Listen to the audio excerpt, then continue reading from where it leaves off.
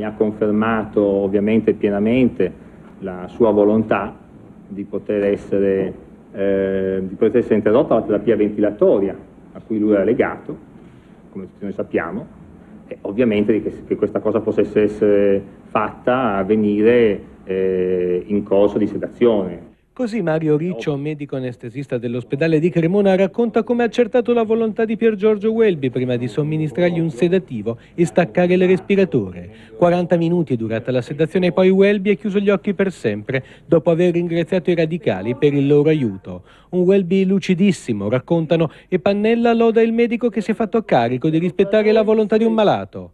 Certo, nessuno può pretendere dai medici di essere eroici, certo si rischia 10-15 anni di galera.